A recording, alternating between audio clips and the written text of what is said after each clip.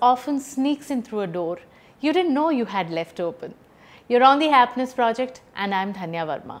One of the most sought after singers in today's times, Suraj Sandosh has an understanding and a passion for music that few can boast of.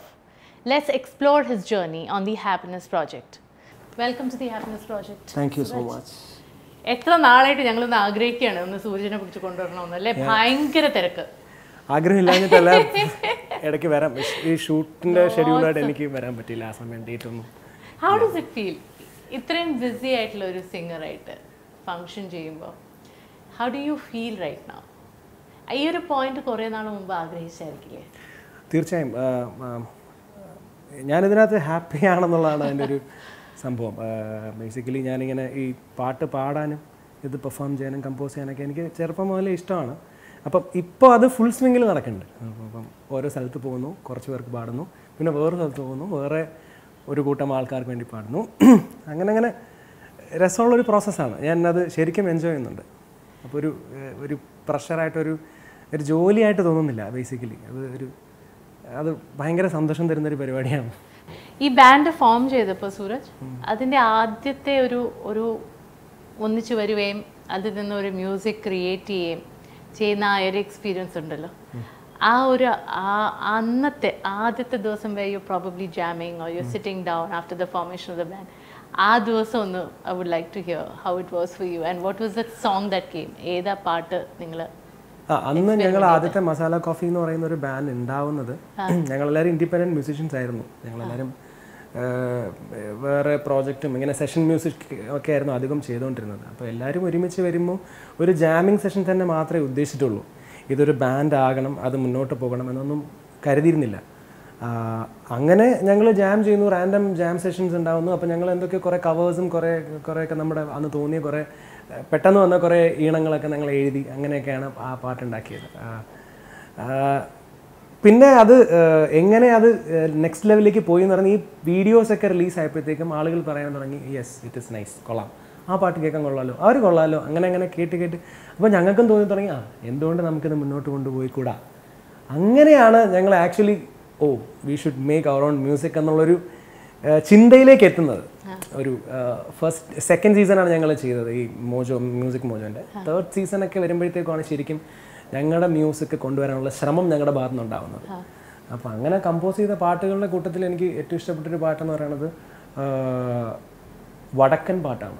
അങ്ങനെ ഒരു പാട്ടെന്നൊരു ഉണ്ട്. പാട്ടാണ് ഞങ്ങളുടെ ഒരു ഒറിജിനലാണ് അത് മതിലേരി കന്നി എന്ന് പറഞ്ഞൊരു ക്യാരക്ടറിനെ പറ്റിയിട്ടുള്ള ഒരു പാട്ടാണ്. മതിലേരി കന്നി എന്ന് പറഞ്ഞാൽ വളരെ സ്ട്രോങ് ആയിട്ട് വളരെ ബോൾഡ് ആയിട്ടുള്ള ഒരു ലേഡിയാണ് ഒരു ലേഡി അതായത് മലബാറിലെ ഒരു നാട്ടുരാജ്യം ഭരിച്ചിരുന്ന ഒരു രാജാവിന്റെ പത്നിയാണ് മതിലേരിക്കന്നി അപ്പോൾ ആ രാജാവിനോളം തന്നെ പോകുന്ന ശൗര്യവും വീര്യവും ഒക്കെ ഉള്ള ഒരു സ്ത്രീയാണത്. അവരെ പറ്റിയുള്ളൊരു പാട്ടാണ് ഈ വടക്കൻ പാട്ടുകളിലെ ഒരു പാട്ടായി മതിലേരി കന്നിയെ പറ്റിയുള്ള റിക്സ് അപ്പോൾ അങ്ങനെയാണ് അതാണ് അത് ഞാനത് ഒരു ഗിറ്റാറും വെച്ചിട്ട് ഞാനതിങ്ങനെ ബേസിക് കോഡ്സൊക്കെ വായിച്ച് ഞാൻ തന്നെ അതിങ്ങനെ ഇരുന്നിരുന്നിരുന്ന് പാടി പാടി പാടി പാടി വന്നപ്പോഴത്തേക്കും ഉണ്ടായ ഒരു പാട്ടാണ്.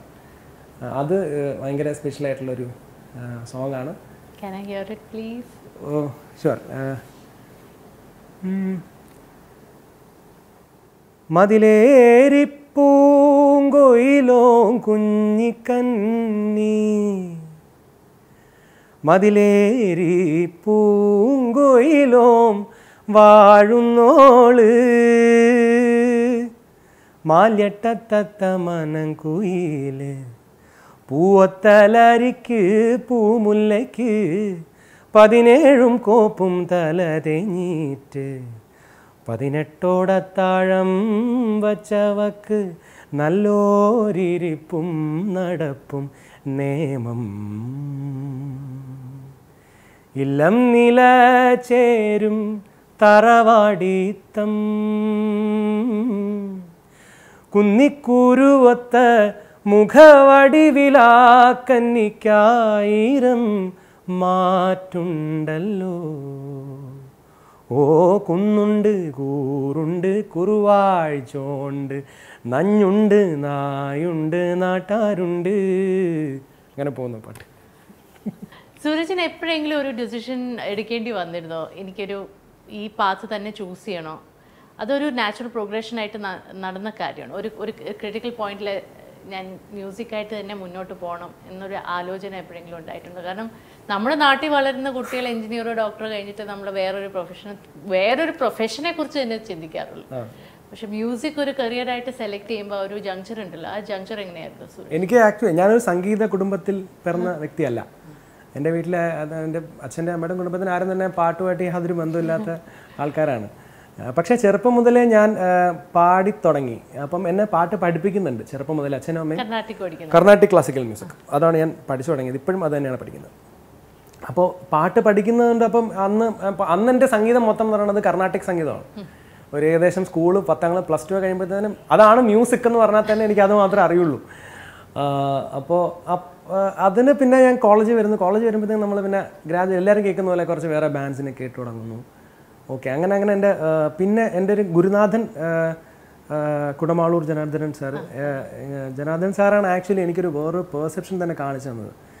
ഈവൻ കർണാട്ടിക് മ്യൂസിക് തന്നെ ഇങ്ങനെ വേണം മ്യൂസിക്കിനെ അപ്രോച്ച് ചെയ്യാൻ എന്നൊരു എന്നൊരു തോട്ട് എനിക്ക് സ്പാർക്ക് എന്റെ ഉള്ളിലേക്ക് തന്നത് ജനാ സാറിന്റെ ഒരു ശിക്ഷണമായിരിക്കാം അല്ലെങ്കിൽ അദ്ദേഹത്തിന്റെ കൂടെയുള്ള സാഹസമായിരിക്കാം. മോർ ദാൻ എ ഗുരു എനിക്ക്. ഒരു ഗുരുനാഥൻ എന്ന പേര് ഒറ്റ വാക്കിൽ മാത്രം പറയാം എനിക്ക് എന്തൊക്കെയാണ് ജനത സാറ്? അപ്പോൾ പിന്നെ ഞാൻ കോളേജിൽ വരുന്നു. കോളേജ് ജോയിൻ ചെയ്യുന്ന. അപ്പോൾ ഞാൻ എം കോം എം കോം വരെ പഠിച്ചു. എന്തിനാന്ന് ചോദിക്കരുത്. ഞാൻ എപ്പോഴും പാട്ട് പഠിച്ചുകൊണ്ടിരിക്കും അപ്പോഴും പാട്ട് പഠിക്കുന്നുണ്ട്. ആ പഠിക്കുന്നുണ്ട്. പാട്ട് പഠിക്കുന്നുണ്ട്. മുന്നേ പല ഗുരുക്കന്മാരുടെ കീഴിൽ പഠിച്ചു. പിന്നെ ഞാനൊരു ഡിഗ്രി ഒക്കെ ആയപ്പോഴത്തേക്കാണ് ജനാസാറിന്റെ കീഴിൽ ഒരു ഡീറ്റെയിൽ ട്രെയിനിങ് അങ്ങനെയൊക്കെ തുടങ്ങിയത്. ശരിക്കും അവിടെ നിന്നിട്ടാണെന്ന് ഞാൻ പാട്ട് പഠിച്ചു തുടങ്ങിയത്. അപ്പോൾ അങ്ങനെ അപ്പോഴും മറ്റുള്ള ജോണേഴ്സ് ഓഫ് മ്യൂസിക് ഇല്ലേ? ഹിന്ദുസ്ഥാനി ആണെങ്കിലും വെസ്റ്റേൺ ക്ലാസിക്കൽ ആണെങ്കിലും. അങ്ങനത്തെ വേറെ ജോണേഴ്സ് ഒന്നും സൈമിൾട്ടേനിയസ്ലി സൂരജിന് പഠിക്കാനോ എക്സ്പ്ലോർ ചെയ്യണം ഞാൻ പഠിച്ചിട്ടില്ല. പഠിച്ച് കേൾവി കൂടുതലും ഹിന്ദുസ്ഥാനി മ്യൂസിക് ആണ്. കർണാടക പഠിച്ചിട്ടുണ്ടെങ്കിൽ ഞാൻ ഏറ്റവും കൂടുതൽ കേട്ടിരിക്കുന്നത് എനിക്ക് തോന്നുന്നു ഹിന്ദുസ്ഥാനി മ്യൂസിക് ആണെന്ന് കേട്ടിരിക്കുന്നത്. പക്ഷേ ഞാൻ എന്തോ എനിക്ക് ഭയങ്കര ഇഷ്ടമാണ് ഹിന്ദുസ്ഥാനി മ്യൂസിക് ഞാൻ പക്ഷേ പഠിക്കാൻ ശ്രമിച്ചിട്ടില്ല. ഒരു ഒരു രണ്ട് വരി ഏതെങ്കിലും ഹിന്ദുസ്ഥാനി? ആ, ഞാനൊരു ഗസലിൻ്റെ ഒരു രണ്ടുപേരി പാടാം ആ. ഉം. ഫാസിലെ ऐसे വരി മറന്നു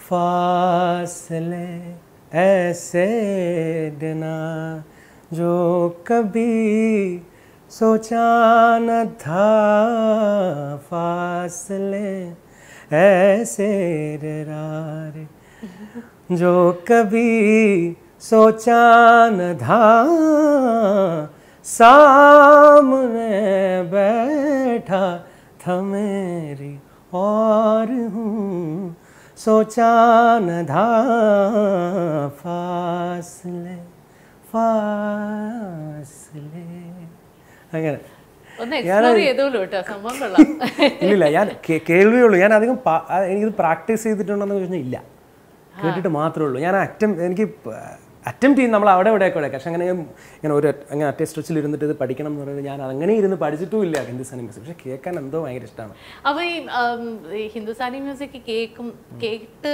കേൾക്കുന്നുണ്ട്. അതുപോലെ പേഴ്സണൽ ആയിട്ടുള്ള സ്പേസിൽ എന്ത് തരത്തിലുള്ള മ്യൂസിക് ആണ്? ഹിന്ദുസ്ഥാനി തന്നെയാണോ കേൾക്കാൻ താല്പര്യം? അല്ലെങ്കിൽ പിന്നെ പിന്നെ പിന്നെ മാറി. അതൊക്കെ ഇല്ല കോളേജ് കഴിഞ്ഞ് ഞാനൊരു കോളേജ് ഞാൻ തീരുമാനിച്ചു. പക്ഷേ എന്റെ വഴി ഇതാണ്. എനിക്കിത് പറ്റുള്ളൂ. എന്തെങ്കിലുമൊക്കെ ചെയ്യാൻ പറ്റുന്നെങ്കിൽ ഇതേ പറ്റുള്ളൂ. അല്ലാണ്ട് എനിക്കൊരു നയൻ ടു ഫൈവ് ജോബ് ഒന്നും എനിക്ക് പറ്റില്ല. സ്വാഭാവികമായും. കാരണം എന്റെ ഒരു ഫാമിലിയിൽ അങ്ങനെ ഞാൻ അച്ഛനോട് പറയുമ്പോഴത്തേക്ക് ഞാൻ ആക്ച്വലി എന്റെ ഡിഗ് എന്റെ പി ജി കഴിഞ്ഞിട്ട് ഞാൻ ഉടനെ ചെന്നൈക്ക് പോവാണ്. ഓക്കെ ഏകദേശം ടൂ തൗസൻഡ് ടെന്നോട് കഴിഞ്ഞപ്പോൾ കഴിഞ്ഞ് ഞാൻ ചെന്നൈക്ക് പോവാണ്. അപ്പം വീട്ടിലെ അച്ഛനടുത്ത് ഞാൻ പറഞ്ഞ രണ്ട് മാസത്തേക്ക് ചെന്നൈ പോകുന്നു പക്ഷേ എന്റെ മനസ്സിലുണ്ട് ഞാൻ ഇവിടെ നിന്ന് വരില്ല എന്ന് തിരിച്ച്. അങ്ങനെയാണ് ഞാൻ ചെന്നൈക്ക് പോകുന്നത്. രണ്ട് മാസം അച്ഛനോട് അച്ഛനോട് ചോദിക്കുന്നുണ്ട് എന്താണ് എന്റെ പ്ലാൻ ഞാൻ രണ്ട് മാസത്തേക്ക് ചെന്നൈ പോവാണ്. പക്ഷേ ഓഫ് കോഴ്സ് മ്യൂസിക് ആയിരിക്കാം എന്നൊക്കെ ഒരു ധാരണ ഉണ്ടായിരിക്കാം.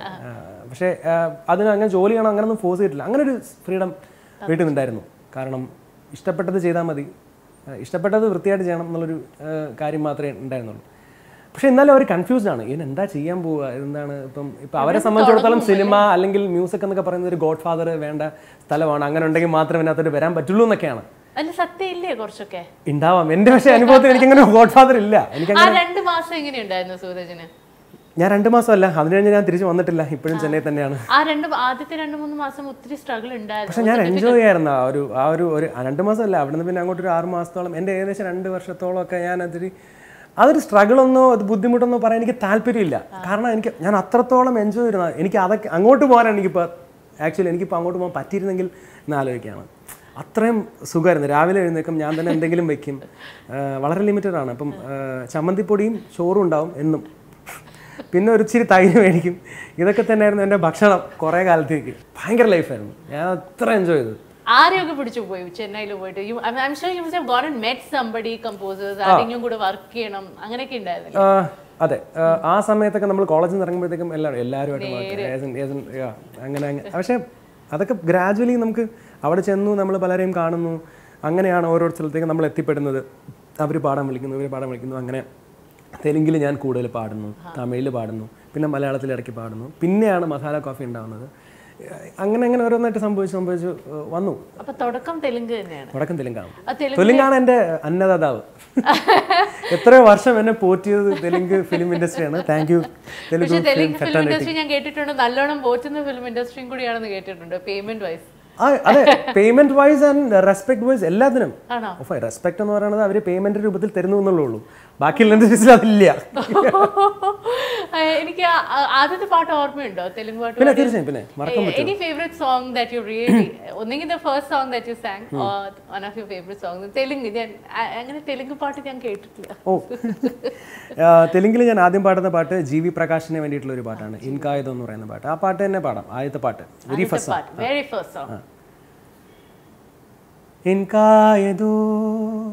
ఇంకా ఏదో ఇదైపోతావే ఇష్టాలే తెలిపేందుకు సంకెళ్ళతో బంధించకో ఎదై చేరాలి రోజే చెలి చెంతకు తనలోని స్వరం ఇనరో ఈ క్షణం అనుకుందేది నీలోనే గూదాచకు నీ మనసే నీకిల ఆ మగువై నిండుగా కనిపించాక మౌనానే చూపించకు.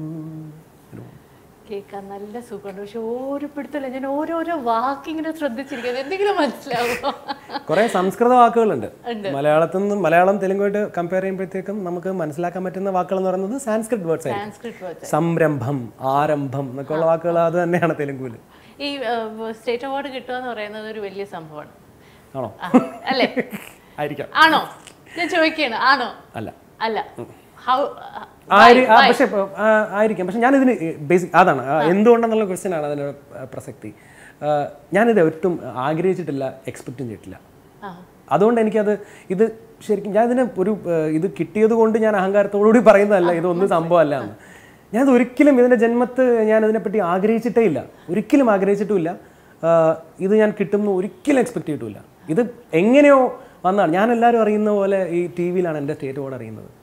ആ സത്യമാണ്. ഞാൻ വീട്ടിൽ ടി ഞാനും അഞ്ജലിയും ടി വി കണ്ടുകൊണ്ടിരിക്കുമ്പോഴത്തേക്കും ഇങ്ങനെ ന്യൂസിൽ പറയുന്നു ഓക്കെ ഇപ്രാവശ്യത്തെ അവാർഡ് ഇത് ഇങ്ങനെയാണ് എനിക്കാണ്. ശരിക്കും പറഞ്ഞാൽ എനിക്ക് വിശ്വസിക്കാൻ പറ്റുന്നില്ല. അപ്പോൾ കാരണം ഓ ഇതിങ്ങനെ കിട്ടുമോ ആ ഇങ്ങനെയൊക്കെ സംഭവിക്കുമോ എന്നൊക്കെ ആലോചിക്കും ആലോചിച്ചു. ആ നിമിഷം? പക്ഷെ അത് കഴിഞ്ഞിട്ട് എന്തായാലും ഒത്തിരിയൊക്കെ സീരിയസ്ലി ആൾക്കാർ എടുക്കുകയും അതിന് ഒരു അവാർഡ് കിട്ടുമ്പോഴത്തേക്കും എന്നോട് പലരും ചോദിച്ചിട്ടുണ്ട് ഇനി ഉത്തരവാദിത്തങ്ങൾ കൂടി തുടങ്ങിയിട്ടില്ലേ? പക്ഷെ അത് അതെങ്ങനെ ഉത്തരവാദിത്തം കൂടുതലും കുറവൊക്കെ ഉണ്ടാവുമെന്ന് എനിക്ക് അറിഞ്ഞൂടാ ഞാൻ അന്നും ഇന്നും ഇതിനെ സമീപിക്കുന്ന ഒരേ ആത്മാർത്ഥതയോടെയാണ് എനിക്ക് ചെയ്യാൻ പറ്റുന്ന കാര്യങ്ങളെ കാര്യങ്ങളെപ്പറ്റി ഞാൻ വളരെ ബോധവാനാണ്. എനിക്ക് ചെയ്യാൻ പറ്റുന്ന കാര്യങ്ങളും ചെയ്യാൻ പറ്റാത്ത കാര്യങ്ങളെപ്പറ്റി എനിക്കറിയാം. അപ്പോൾ എനിക്ക് ചെയ്യാൻ ചെയ്യേണ്ടിയിരുന്ന കാര്യങ്ങളെ കാര്യങ്ങളെപ്പറ്റി ഞാൻ അത് തന്നെയാണ് ഇപ്പോഴും ചെയ്തുകൊണ്ടിരിക്കുന്നത്. അപ്പോൾ ഒരു ഉത്തരവാദിത്ത കൂടി എന്നൊരു ഫീൽ എനിക്കില്ല. ഞാൻ എനിക്ക് കിട്ടിയില്ലെങ്കിൽ ഞാൻ ഇങ്ങനെ തന്നെ ആയിരിക്കും ജീവിക്കുന്നത്. അവാർഡ് കിട്ടിയാലും കിട്ടിയില്ലെങ്കിലും എന്റെ എനിക്ക് ചെയ്യേണ്ടിയിരിക്കുന്ന കാര്യങ്ങൾ തന്നെയായിരിക്കും ഞാൻ ചെയ്തുകൊണ്ടിരിക്കുക. അഞ്ജലിയുടെ കാര്യം പറഞ്ഞല്ലോ. അഞ്ജലി എങ്ങനെയാ മീറ്റ് ചെയ്തേ? ഇസ് ഇറ്റ് ലവ് മാരേജ് പിന്നെ അല്ലാണ്ട്. പിന്നെ അല്ലാണ്ട് ഐ ഡയലോഗ് ദാറ്റ് മാരേജ് നടക്കുള്ളൂ. നടക്കുള്ളൂ. വെരി മീറ്റ് ഞാൻ ആദ്യമേ അഞ്ജലി കാണുന്നത് ദുബായിൽ വെച്ചിട്ടാണ്. ദുബായിലാണ് അഞ്ജലി ഷോയിൽ പോയപ്പോഴത്തേക്കാണ് അതിന് മുന്നേ എനിക്ക് പരിചയമുണ്ട്. പക്ഷെ മീറ്റ് ചെയ്യുന്നതും ദുബായിലാണ് ആദ്യത്തെ തവണ.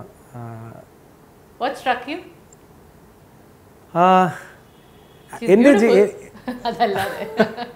ഷീ ഈസ് ബ്യൂട്ടിഫുൾ അത് ഞാൻ എഗ്രി ചെയ്യണം. അതല്ല അതിനേക്കാൾ ഉപരി ഫസ്റ്റ് ടൈം മീറ്റ് ചെയ്തപ്പോൾ തന്നെ ഞാൻ എന്റേതായ രീതിയിലാണ് ഞാൻ സംസാരിച്ചിരുന്നത്. എന്റെ കാര്യങ്ങൾ ഞാൻ പറയുന്നു. അതൊക്കെ പുള്ളിക്കാരി കണക്ട് ആ കണക്ട് ചെയ്യാൻ പറ്റുന്നുണ്ടായിരുന്നു.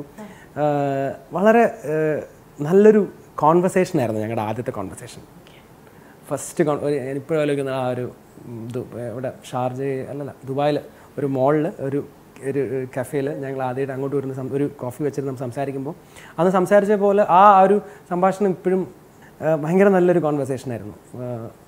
എനിക്ക് ജീവിതത്തിൽ വേണ്ടിയിരുന്നൊരു കാര്യം അതായിരുന്നു. വേറെന്തും ഓക്കെയാണ്. ഞാൻ പറയുന്നൊരു തോട്ടോ അല്ലെങ്കിൽ ഞാൻ പറയുന്ന കാര്യങ്ങളോ റിലേറ്റ് ചെയ്യാൻ പറ്റാത്തൊരു മനുഷ്യനാണെങ്കിൽ ചിലപ്പോൾ ഞാൻ കഷ്ടപ്പെട്ടു പോയനെ.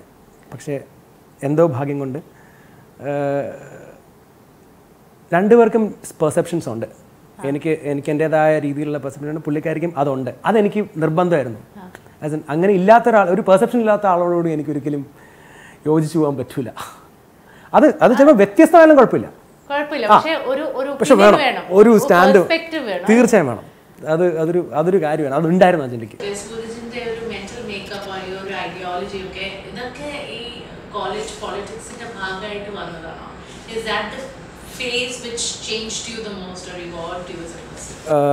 ക്വസ്റ്റ്യൻ ആണ് ആക്ച്വലി എങ്ങനെ ഇങ്ങനെ ഇങ്ങനെ എത്തി എന്നുള്ളത് ഒരു ഞാനൊരു ഇപ്പം ഞാൻ എന്നെ തന്നെ വിശേഷിപ്പിക്കുമ്പോഴത്തേക്കും ഞാൻ എന്താണെന്ന് ആഹ് പറയാൻ ആഗ്രഹം ഞാൻ സീക്കറാണ് ഞാനൊരു ട്രൂത്ത് സീക്കറാണ് എന്താ എനിക്കറിയില്ല ട്രൂത്ത് എന്താണെന്ന് എനിക്കും ഞാൻ ഇപ്പോഴും കണ്ടുപിടിച്ചുകൊണ്ടിരിക്കുന്നുള്ളൂ പക്ഷേ ഞാനൊരു സീക്കറാണ് അപ്പോൾ ചെറുപ്പത്തെ ചെറുപ്പം എടുത്തു നോക്കിക്കഴിഞ്ഞാൽ എന്റെ വീട്ടിൽ എന്റെ അച്ഛൻ ഒരു കമ്മ്യൂണിസ്റ്റാണ് ഒരു നിരീശ്വരവാദിയാണ്. എന്റെ അമ്മയും ഒരു കമ്മ്യൂണിസ്റ്റാണ്. പക്ഷേ ഈശ്വര വിശ്വാസം കൊണ്ടൊരു പാവം കമ്മ്യൂണിസ്റ്റ് എന്ന് വേണമെങ്കിൽ ഞാൻ പറയാം. അപ്പോൾ ഞാൻ എന്നെ ഈ ഐഡിയോളജി ഭയങ്കരമായിട്ട് ഇൻഫ്ലുവൻസ് ചെയ്തിട്ടുണ്ട്. അപ്പോൾ ഞാൻ ചെറുപ്പം മുതലേ ഒരു ഹാർഡ് കോർ കമ്മ്യൂണിസ്റ്റ് ആണ് ചെറുപ്പം മുതൽ ചെറുപ്പം മുതൽ എന്ന് പറയുമ്പോഴത്തേക്കും എന്റെ വീട്ടിൽ വരുന്ന പത്രം വരെ ദേശാഭിമാനിയാണ്. ഓക്കെ. അപ്പോൾ അങ്ങ് അത്രത്തോളം ഡീപ്പ് റൂട്ടഡ് ആയിട്ടുള്ള പക്ഷേ അത് ഗ്രാജുവലി വന്നു. പിന്നെ ഞാനൊരു പ്ലസ് ടു ഒക്കെ കഴിഞ്ഞപ്പോഴത്തേക്ക് ഞാനൊരു കുറേ ഈ കുറേ മന്ത്രങ്ങളും വേദങ്ങളും ഒക്കെ ഞാൻ പഠിക്കാൻ തുടങ്ങി. ഞാൻ തന്നെ പുസ്തകങ്ങൾ കണ്ടത്. എനിക്കൊരു അഭിരാം എന്ന് പറഞ്ഞ ചേട്ടനുണ്ടായിരുന്നു. അപ്പോൾ ഒരു ഒരു സുഹൃത്താണ്. അപ്പം പുള്ളിക്കാരൻ കുറേ പുസ്തകങ്ങൾ ഉണ്ടെന്ന് ഞാൻ കുറേ അങ്ങനെ കുറേ വായിച്ചു. കുറേ മന്ത്രം പഠിച്ചു. കുറേ കുറേ അങ്ങനത്തെ കുറേ പുസ്തകങ്ങൾ വായിച്ചു. പിന്നെ കുറേ പിന്നെ ഡിഗ്രി കഴിഞ്ഞപ്പോഴത്തേക്കും കുറേ ഡിഗ്രി പി ജി ഒക്കെ ഞാൻ പിന്നെ കുറേ ഈ ഹിമാലയത്തിനെ പറ്റി ഒരുപാട് വായിച്ചു. ഞാൻ ഹിമാലയത്തിന്റെ ഭാഗമായിട്ടാണോ ആവോ? അല്ലല്ലല്ല ഇത് ഗ്രാജുവലി സംഭവിച്ചു അപ്പോഴും ഞാൻ ഇതിന് ഇതിനകത്ത് എനിക്ക് വിശ്വാസമുണ്ട്. അപ്പോഴും ഞാൻ ഈ കമ്മ്യൂണിസ്റ്റുകാരനാണ് അപ്പോൾ ഈ അപ്പം ഹിമാലയത്തിനെ പറ്റി ഞാൻ കുറേ പുസ്തകം വായിച്ചിട്ടുണ്ട്. ഏകദേശം ഏഴെട്ടോ പുസ്തകം ഞാൻ ഹിമാലയം എന്ന സ്ഥലത്തിനെ പറ്റി മാത്രം വായിച്ചിട്ടുണ്ട്. പിന്നെ ഈ ശ്രീയമിന്റെ പുസ്തകങ്ങൾ വായിച്ചു. ശ്രീയം എന്ന് പറഞ്ഞൊരു ഓതറുണ്ട് പുള്ളിക്കാരന്റെ ഒരു ബുക്ക് വായിച്ചു. ഭയങ്കരമായിട്ട് ഇൻഫ്ലുവൻസ് ചെയ്തിട്ടുണ്ട്. അപ്പം അങ്ങനെ അങ്ങനെ അങ്ങനെ വന്നു. അപ്പോൾ പക്ഷേ അപ്പോൾ ഞാൻ അപ്പോഴൊക്കെ മനസ്സിലാക്കി അപ്പോൾ ഇത് ഇതൊരു ഈ ഒരു എക്സ്ട്രീമിസം സപ്പോർട്ട് ചെയ്യാൻ പാടില്ല എന്ന് ഞാൻ ഗ്രാജുവലി അതിലേക്ക് എത്തിച്ചേർന്നു. അപ്പോൾ അന്ന് അതെന്ന് വന്നോ ഞാൻ അന്ന് മുതൽ കമ്മ്യൂണിസ്റ്റും അല്ല ഒരു ഇസോ ഒരു ഇസത്തിലും എനിക്ക് വിശ്വാസം ഇല്ലാണ്ടായി. എന്ന് കരുതി ഞാനിതിനെ എതിർക്കുന്നു ഒരു ഇസത്തിനെ ഞാൻ എതിർക്കുന്നില്ല തള്ളി പറയുന്നില്ല എനിക്കറിയില്ല ബേസിക്കലി ഐ ഡോണ്ട് നോ എന്താണ് ശരി തെറ്റ് എന്നുള്ളത് എനിക്കിതുവരെ അറിയില്ല. അപ്പോൾ ആ ഒരു സ്ഥലത്തെത്തിപ്പെടുന്നപ്പോഴത്തേക്കും കാര്യങ്ങൾ ഓക്കെയാണ്. കാരണം കുറേ നമുക്ക് സീക്ക് ചെയ്യാനുള്ള ഓപ്പർച്യൂണിറ്റീസ് നമ്മൾ വീണ്ടും തുറന്നിട്ട പോലെ ആയിപ്പോയത്. നമ്മളൊന്നിൽ നിൽക്കുന്നില്ല. യെസ് യെസ് ഇതാണ് ശരിയെന്ന് പറഞ്ഞാൽ നമ്മൾ അവനകത്ത് മാത്രം ശരിയെന്ന് വിചാരിച്ച് നിൽക്കുന്നില്ല. അതും ശരിയാവാം. ഇതും ശരിയായിക്കൂടെ?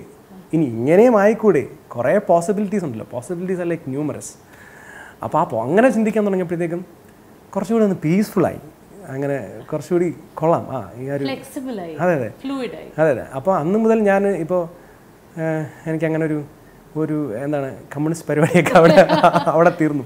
റിജിഡിറ്റി മാറിയെന്നാണ് പറയുന്നത്. മാറി, ബോക്സിനകത്ത് അത് അത് എല്ലാ മ്യൂസിക്കിലും മാറിയത്.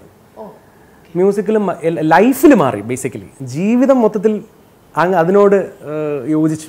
അങ്ങനെ ഒരു അങ്ങനെ ജീവി അങ്ങനെ ചിന്തിക്കാനായിട്ട് തുടങ്ങി. മൊത്തത്തിൽ എല്ലാ കാര്യത്തിലും. ഹിമാലയം ഭയങ്കര ഇൻഫ്ലുവൻസ് ചെയ്ത കാര്യമാണെന്ന് അറിയാം. ഹിമാലയത്തിൽ എവിടെയൊക്കെ പോയിട്ടുണ്ട്. പോയിട്ടില്ലേ? പോയിട്ടില്ല. അയ്യോ. ഞാൻ ആ ഹിമാലയത്തിലെ മറ്റേ ആ വെള്ളപ്പൊക്കം നടന്ന സമയത്ത് ഞാൻ അവിടെ ഉണ്ടാകേണ്ടതായിരുന്നു.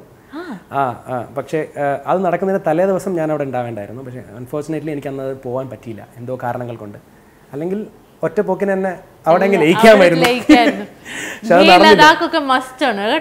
പക്ഷെ ഞാൻ ഹിമാലയം ആക്ച്വലി എനിക്ക് എന്ത് സ്ഥലം പറഞ്ഞാലും അറിയാം. പോകാണ്ട് തന്നെ എനിക്ക് ഇത്ര കറക്റ്റായിട്ട് എനിക്കറിയാം എവിടെ എന്തൊക്കെയാണ് ഉള്ളതെന്നുള്ളത്. എനിക്ക് ഞാൻ അവിടെ പോയാൽ മാത്രം മതി. വാല്യൂ ഫ്ലവേഴ്സ് മറ്റേ മനാഗ്രാമം അങ്ങനെ എനിക്ക് ഓരോ പോയിന്റും എനിക്ക് എന്റെ മനസ്സിലുണ്ട്. ഞാൻ അങ്ങോട്ട് പോയാൽ മാത്രം മതി. അത് നടക്കണില്ല. അത് എന്തെങ്കിലും നടക്കുമായിരിക്കും. അത് നടക്കണം. താമസിയാതെ നടക്കണം. നമ്മൾ അറിയാതെ നമ്മൾ മറ്റുള്ളവരെ എഫക്റ്റ് ചെയ്ത കാര്യമില്ല. അങ്ങനെ ഒരു സംഭവം ഉണ്ടായിട്ടുണ്ട് സൂരജ്. സൂരജിന് അറിയില്ല. നമ്മുടെ ഷോയിൽ ഒരു ഗസ്റ്റ് വന്നപ്പോൾ പറഞ്ഞത് തനിയെ എപ്പോഴെങ്കിലും ലോ ആയിട്ടിരിക്കുമ്പോൾ തനിയെ മെഴുകൾ. നമ്മുടെ ഗപ്പിയിലെ പാട്ട് കേൾക്കുമ്പോഴാണ് അവരുടെ മൂഡൊന്ന് ചേഞ്ച് ആവുകയും അവരുടെ മൂഡ് ഓൾട്ടറിങ് എക്സ്പീരിയൻസ് ആണ്. തനിയെ മിഴികൾ. സൂരജിന് ആ പാട്ടിനോടുള്ള റിലേഷൻഷിപ്പ് അത് കേൾക്കുമ്പോഴും ആദ്യമായിട്ട് അത് അപ്രോച്ച് ചെയ്തപ്പോഴത്തെ ആ റിലേഷൻഷിപ്പ് ആ ഒരു ആ ഒരു എക്സ്പീരിയൻസ് ഒന്ന് നറേറ്റ് ചെയ്യും.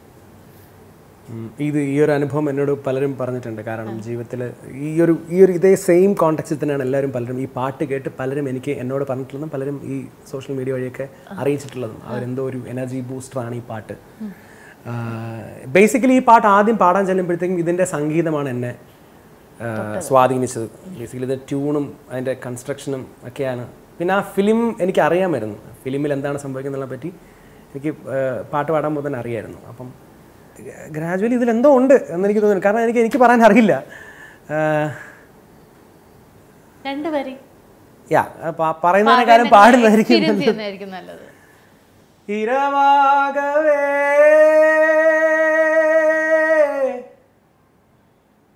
പകലാകവേ.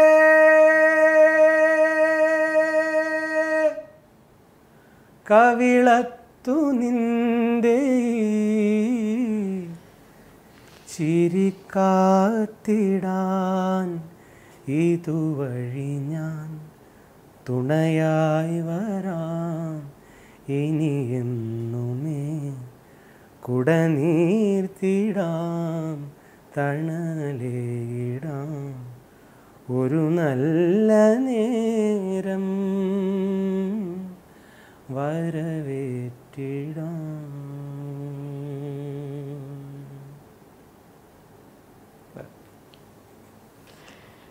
സൂരജിന്റെ ഹാപ്പിനെസ് ബിൽ എന്താണ്.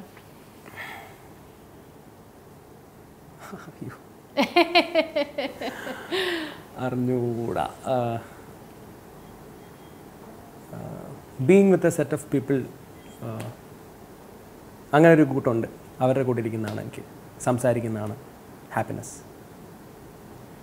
സംസാരിക്കാൻ കാരണം ഞാൻ ഞങ്ങൾ സംസാരിക്കുന്ന കാര്യങ്ങൾ